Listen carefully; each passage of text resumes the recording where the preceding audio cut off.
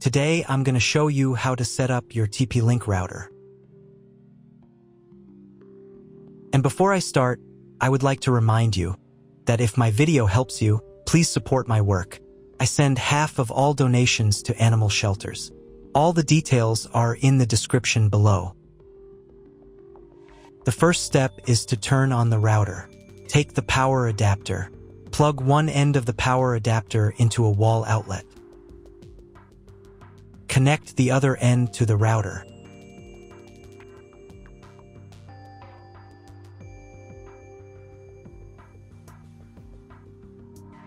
When it's powered on, a light will illuminate. It might take a few minutes for the router to fully power up. Next, plug the cable from your broadband provider or modem into the internet port.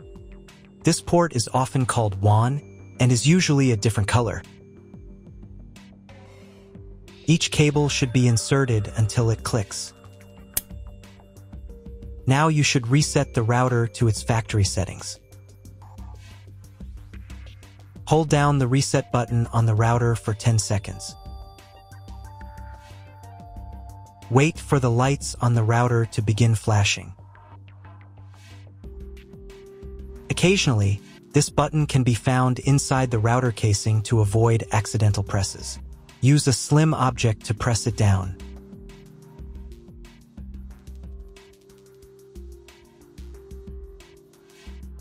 The router will reboot, resetting all the settings to their original factory defaults. Connect one end of the Ethernet cable that came with the router to an Ethernet port.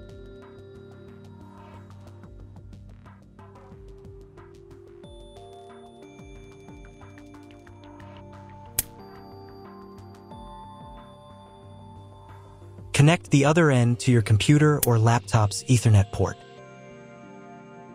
Please wait a few minutes for connection. Awesome! Your router is now connected to your computer. Now you will need to set it up. Before I start setting up the router, I need to warn you that depending on the firmware, some setup steps may differ slightly from mine or follow in a slightly different order. But don't worry, you'll succeed. Just follow the instructions. First, you need to download the TP-Link Deco app. This app is available in the App Store and Google Play Store. After installation, open the app.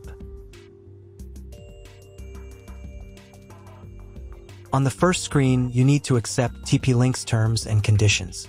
To do this, check this box here and here. And press the Continue button. Next, you need to log in to your TP-Link account. If you don't have one, then click this button and go through the registration process. If you already have a TP-Link account, then click here and enter your details.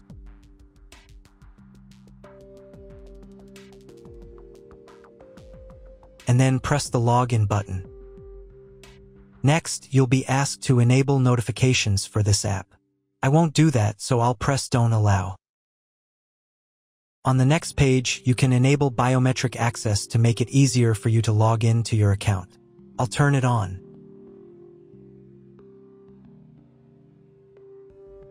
And press the Continue button. Now you'll be asked to set up two-factor authentication. I don't need it, so I'll press maybe later. Next, there will be a short guide on how to turn on your router.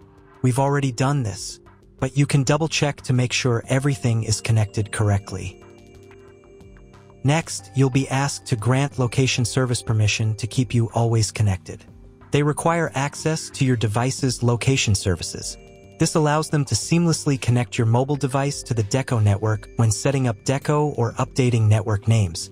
No geographical location information will be collected by the Deco app. Click this button. And in the pop-up window, allow location access. Then press the Let's Begin button. If your location services are turned off, you'll be asked to enable them. Please go to Settings and Enable Location. Location services are required during setup. After that, your phone will try to find your Deco device automatically. If it fails, then you need to scan a special QR code on your device. To do this, press this button. Then press this button. Give the app access to the camera. And press the Got It button. Find the special QR code on your device and scan it using the camera. Usually, this code is located on the bottom of the router. And if you don't have a QR code, then connect to the Wi-Fi network manually. The default network name is usually found on the back of the router. Regardless of the shape of the product label, make sure the entire label is visible within the viewfinder frame. After the device is found, press this button. The phone will try again to connect to the router. Next, choose the location where your Deco device will be placed. The location will be used as this Deco's name. If none of the options fit, then press the custom button and enter your own name.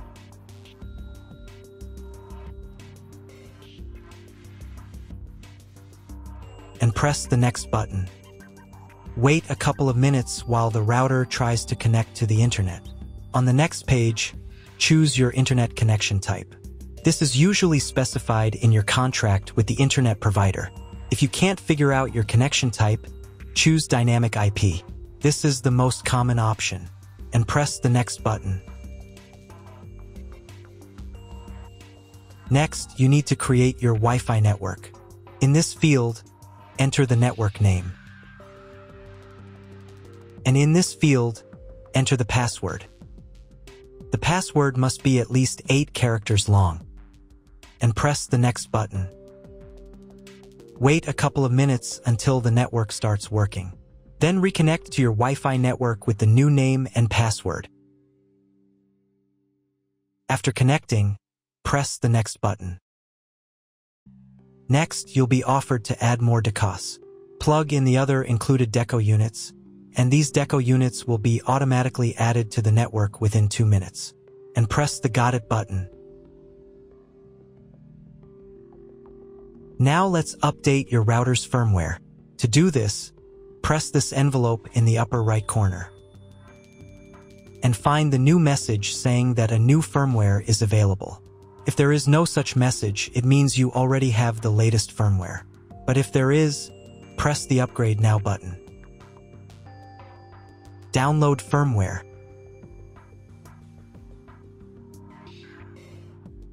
And install the new firmware.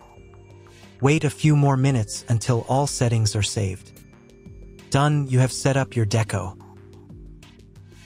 That's all. If you found my video helpful, please support my work. Half of all donations I send to animal shelters. All details are in the description down below.